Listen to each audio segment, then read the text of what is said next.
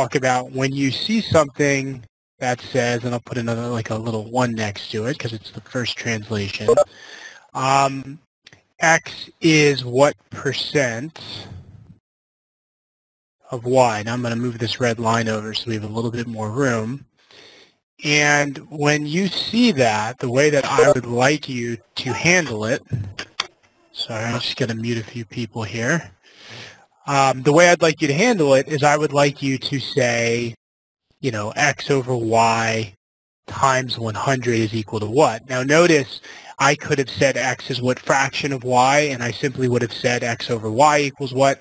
I could have said x is what ratio to y, and I would have said x over y uh, is equal to what?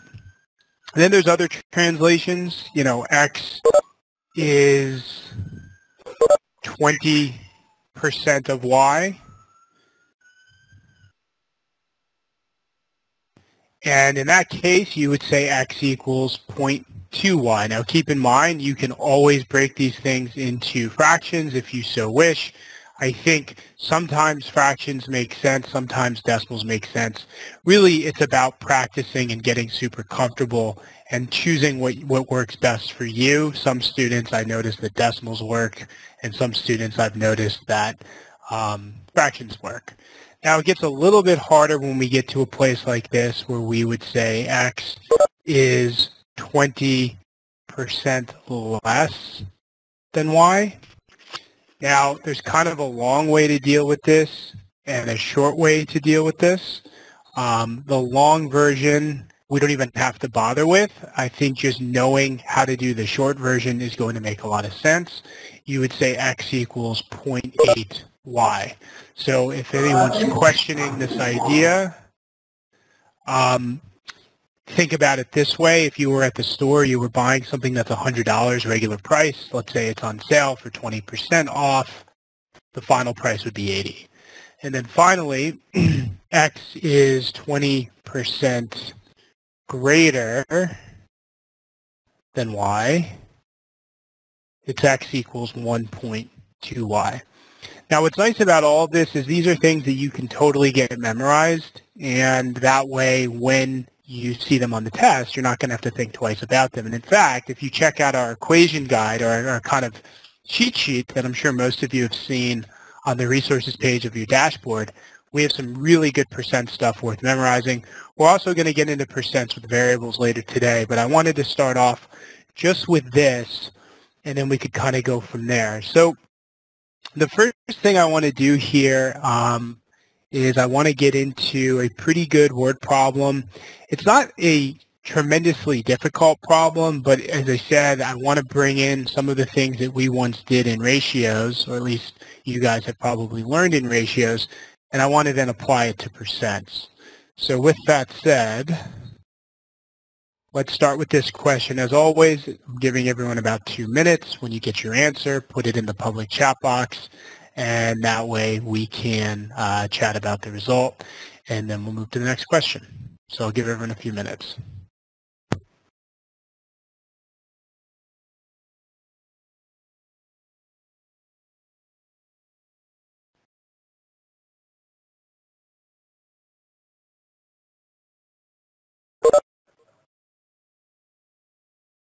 E fui voltar para o meu.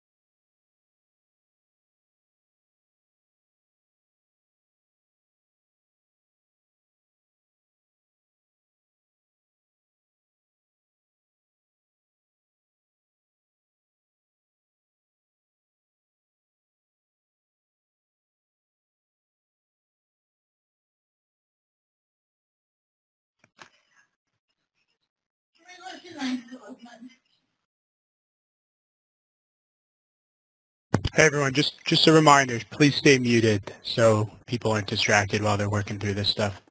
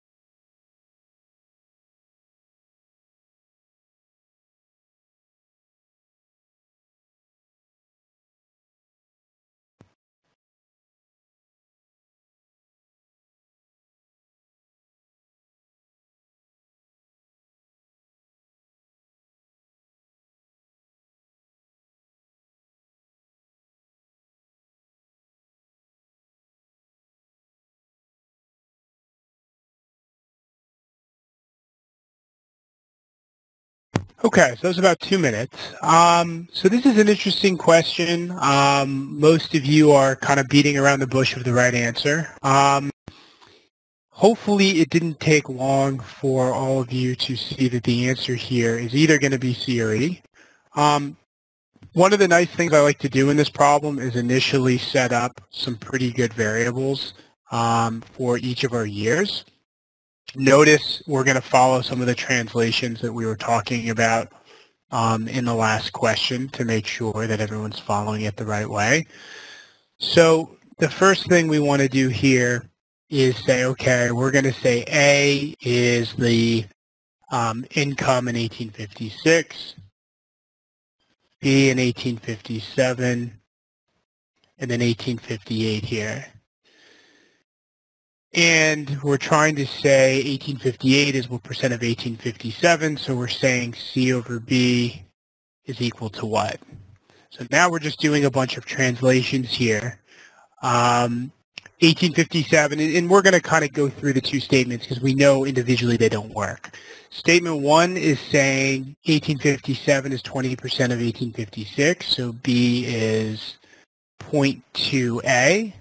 And we see that in statement two, 1858 is 60% of 1856, which is 0.6A. Now, for any of you who have been to our previous webinars or who have read our ratios chapter, you know that the goal here is just to get everything in terms of the same variable.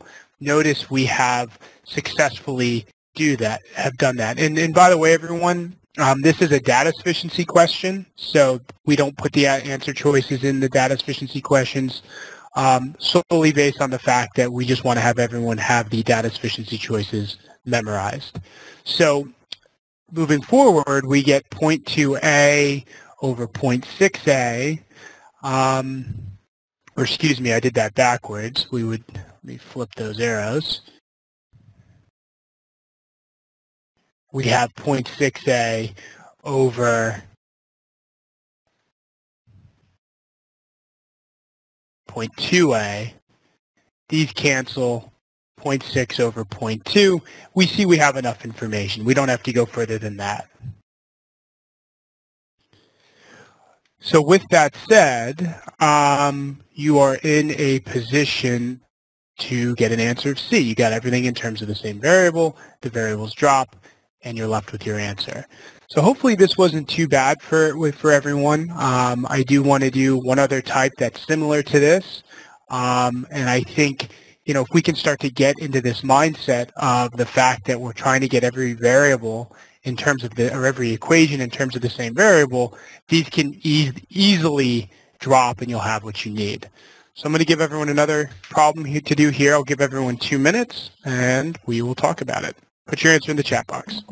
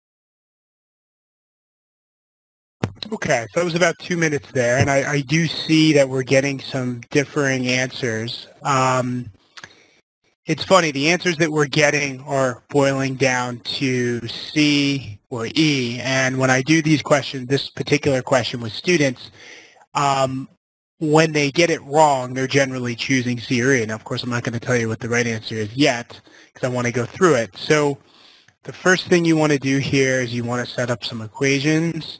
P is 500% of Q. So you would say P equals 5Q.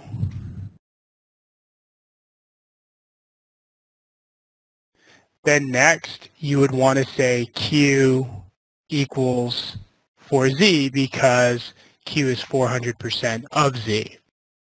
The next thing we have here is we have Z is what percent of P. So Z over P times 100 is equal to what? So the goal here is to get everything in terms of the same variable. You'll notice that the common variable here is variable Q, and you'll notice that P is already in terms of Q. So the only second thing we have to do is we have to say Q over 4 equals Z. So once we do that, we can put Q over 4 in for Z. We can put 5Q in for P. And we can say Q over 4 divided by 5Q times 100 is equal to what? Notice when we flip and multiply, and this is where I think people had issues, the Q's cancel, but you notice that you're multiplying the whole thing by 100. 20 divided by 100 is 5%. So you have to make sure you're multiplying by that extra 100. Um, so with that in mind, we are going to keep doing some more of these types of questions. So hopefully that wasn't too bad for everyone. Um, I do want to get into kind of some percent greater, percent less problems. And I also want to do that using some variables moving forward here. We're probably going to do a little less on data sufficiency um, and more on some other things. And uh, I think someone's not muted, so if, if uh, can everyone check to make sure they're muted, please? There we go. Okay. So the next thing I want to do is a really good play on percent greater type problem. So I'm going to give everyone another two minutes and we're going to kind of talk about a different process here. So two minutes and then we'll chat about this.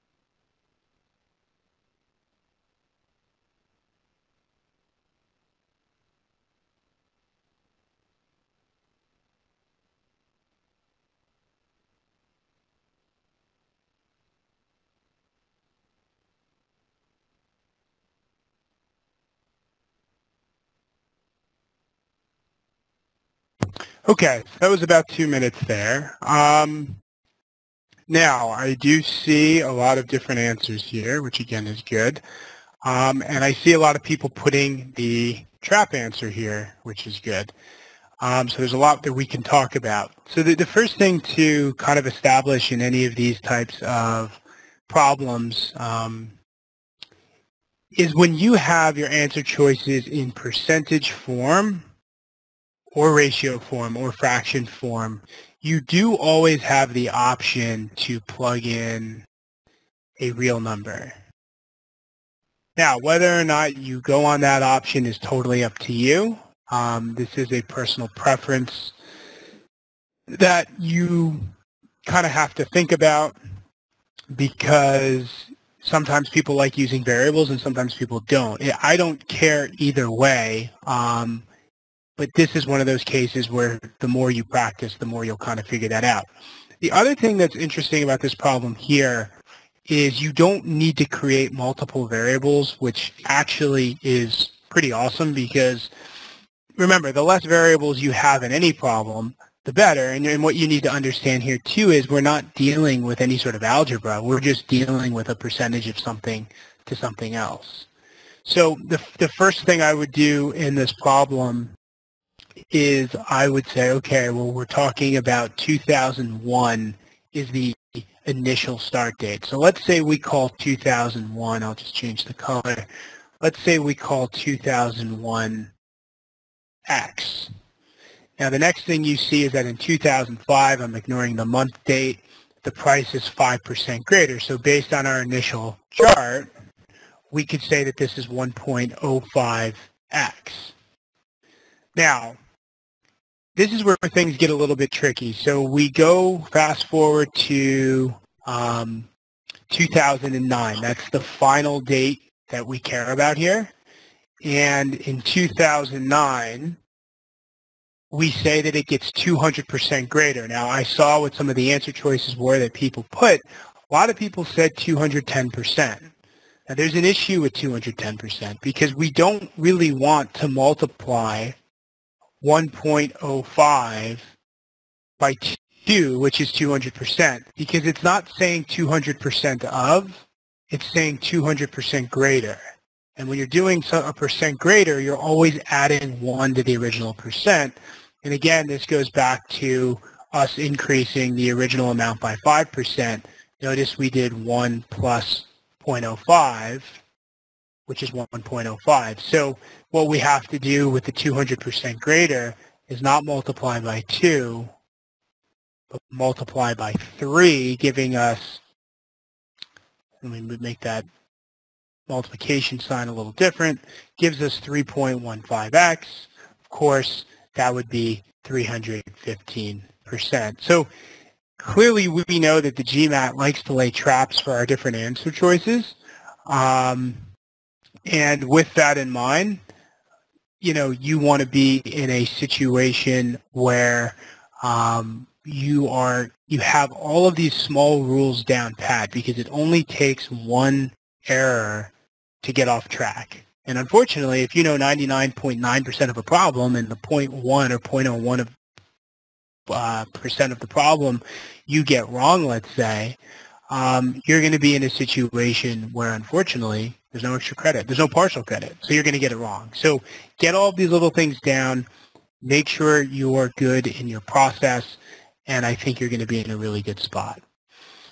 Um, now, with that said, I want to move on to the another problem. Now, someone just asked, why did I choose three here? Well, the reason I chose three is because the translation of 200% greater is not two, it's three. So that is something you want to get down uh, pat. So just like if I said 400% greater, you would be multiplying it by 5. If I say 100% greater, you're multiplying it by 2, et cetera, et cetera. Now again, if it was 200% of, you would multiply it by 2, but it didn't say that. So I want to move on to doing some percent translations with variables. This is something that we can do another percent translation chart with, but I want to give everyone a problem first, then we'll do the percent translation chart, and then we'll come back and do the answer to this. So I'll give everyone a few minutes, and then we can go from there.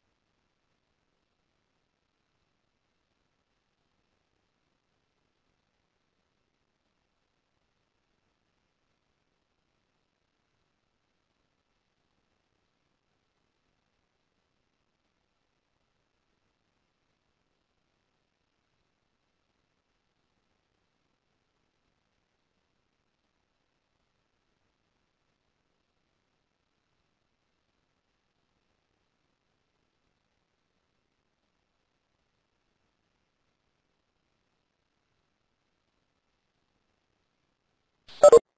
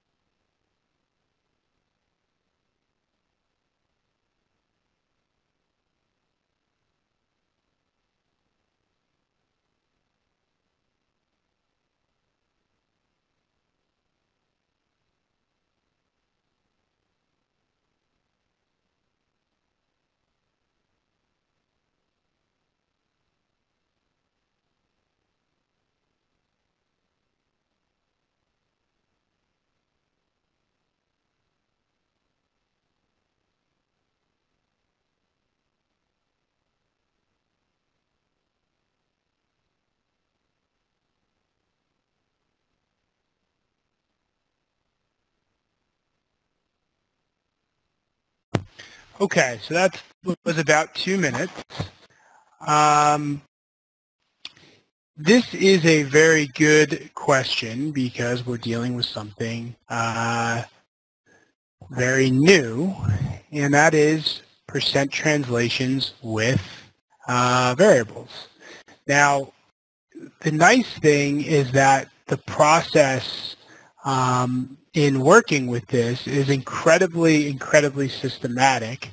So um, you will be able to master this. And yes, it seems harder. No, I don't want you plugging in.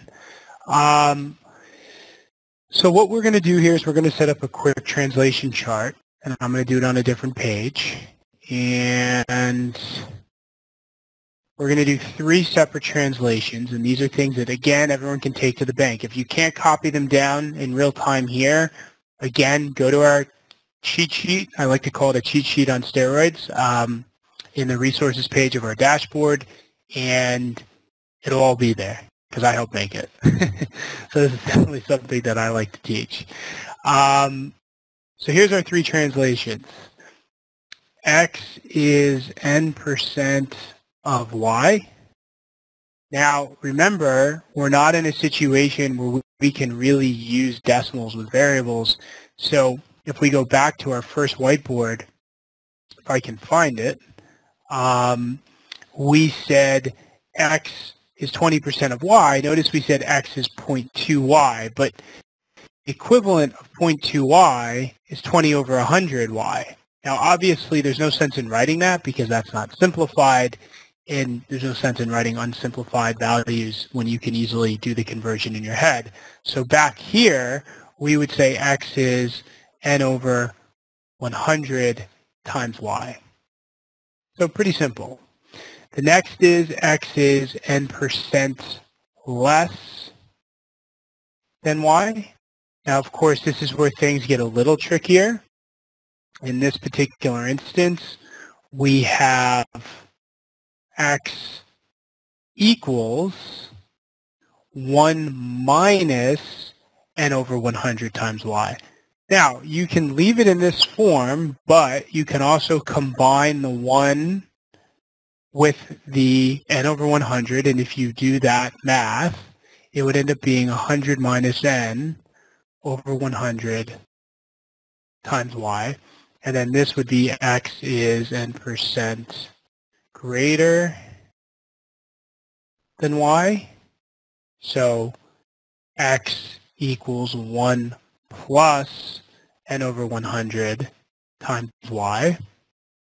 Or in other words, x equals 100 plus n over 100 times y. So I don't think any of that is that bad. I think these are all pretty doable translations. I think that if anyone, you know, if you have issues right now looking at it, memorize it. I mean, it's not that bad. So what you're also going to find is that it relates pretty much identically to this question. And as, as I scroll through the answer choices, um, you're going to see that um, the process in dealing with this is going to be quite similar. So we see that we're starting off with uh, an item. It's it's D dollars, and we are marking it down X percent. So how do you mark something down X percent? Well, you do 1 minus X over 100. Now the next thing is we're marking it up X percent we're going to then multiply that by 1 plus x of 100. There's something I want to be very clear about so that no one falls for this trap on the GMAT. If you take an item, and you guys can practice this with real numbers later if you so wish, if you take an item and you mark it down, let's say 20%, and then you mark it back up 20%, you don't get the original value that you were dealing with. So the first answer that's a trap here is definitely D. So it doesn't wipe out the percentage mark down versus percentage mark up. Um, obviously, yes, there's math behind that, but you know the reality is we just want to know that that's the case, so we're not falling in any traps. Now, the issue with leaving this in this format here is that it doesn't really look like our answer choices. And anytime you're dealing with a simplification problem on the GMAT, you always want to do your best job of trying to mimic the answer choices because there's multiple ways to simplify a question. So with that said, it makes very good sense to get your common denominators. And now we're in a much better spot to be able to finish this. What's even better is if you look at the numerator here of our two fractions, you'll notice the good old difference of squares, something that I love to talk about, something that we teach a lot, and it's something that can be used in multiple places, not just when you're dealing with the quadratics chapter, let's say. So strategically using the difference of squares, this becomes 100 squared minus x squared over 100 times 100, which is 10,000 so 100 squared gives us um, 10,000 minus x squared over 10,000. So while this question may appear super, super challenging, um, I'm hoping that everyone looks at this and says, you know what, it's really just testing us on these translations. I have these translations down. I can successfully deal with them.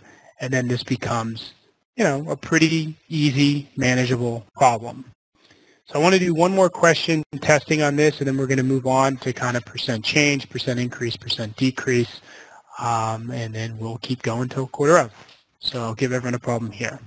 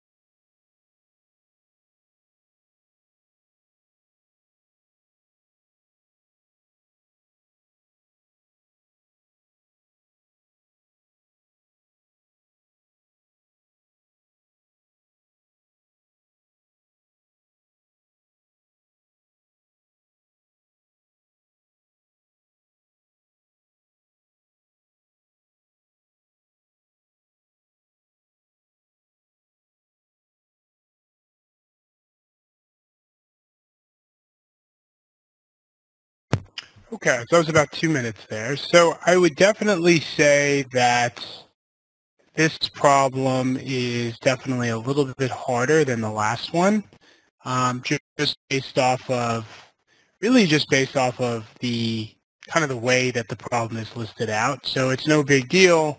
Everyone can should be able to successfully deal with this. Um, but, you know, you do want to take your time and sort through it. And look look at really one component at a time here. So we're told that a shirt is on sale for 60% less than its original price of $100. So what we know from everything we've done before is that 60% less of 100 is like the same thing as multiplying it by 0.4. So that's going to give us 40. Um, the next thing we have here is that it says that sale price, which is the $40, is Z percent less than what it would have cost. Okay, so we know Z percent less is 1 minus over 100 than what it would have cost if the shirt was on sale for X percent of its original price. X percent, of course, is X over 100. The original price of it is, of course, 100. So you'll notice here that the hundreds immediately, immediately cancel out. That's the first thing. Then we're left with basically all of this here. Now the key in this question is it's saying what is the value of x in terms of z. So we do want to isolate x and we want to do it the quickest way we possibly can, which means we're going to want to bring the 1 minus z over 100 over to the other side. However, before doing that, I think it would be a wise decision to get one denominator, and you'll see why in a second. So now, when we divide this out, we end up with 40 over 100 minus z over 100 equals x.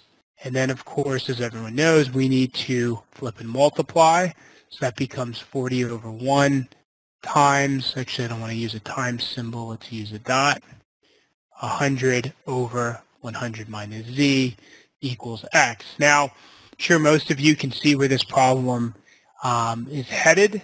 You know, really the only answer choice that's logically going to complete this is answer choice E as in Edward. So I see we do have a question here, the translation of the second sentence into numbers.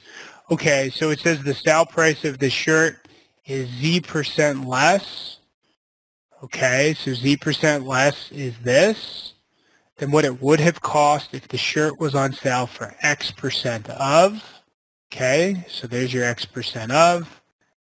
And then there's of the original price, that's the 100. Okay, so again, hopefully it wasn't too bad. I know these things um, take time to, you know, master, but I do believe that everyone here can do it. You know, I didn't have it right away. It took me time, but I promise if you work hard at it, you should be able to get this right. Now, the last thing I want to do here is I want to go through really one last question. This is dealing with percent change. So I'll give everyone a minute or two to start this, and then we will go from there. So take a look at this question, and we'll go through it in a second. This is testing percent change.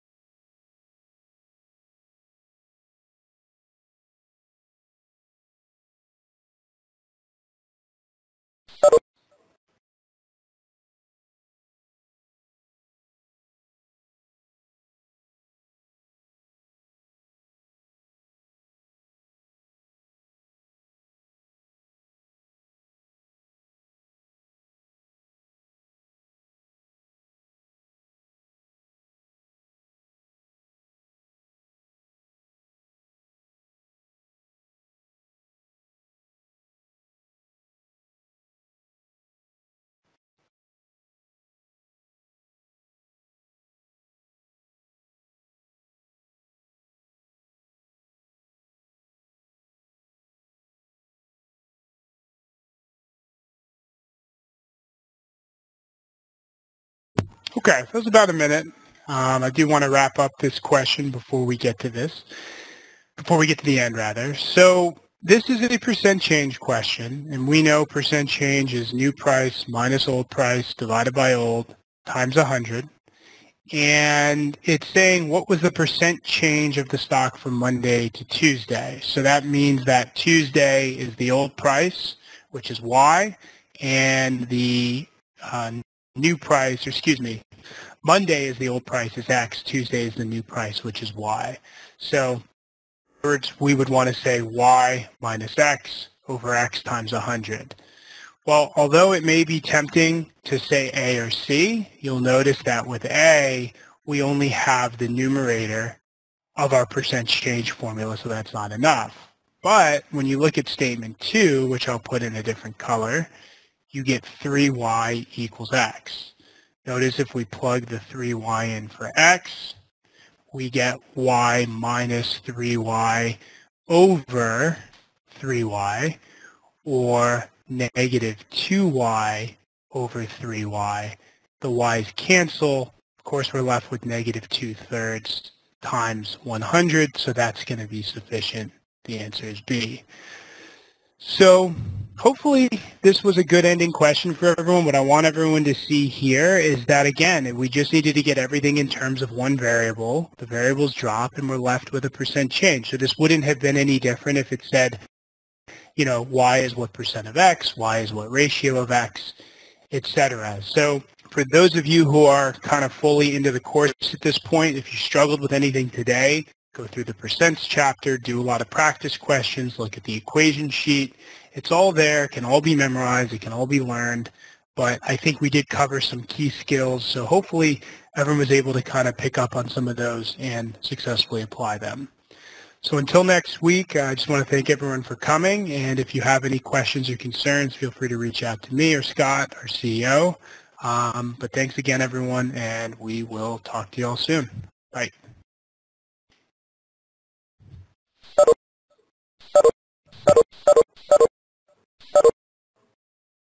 Thank you.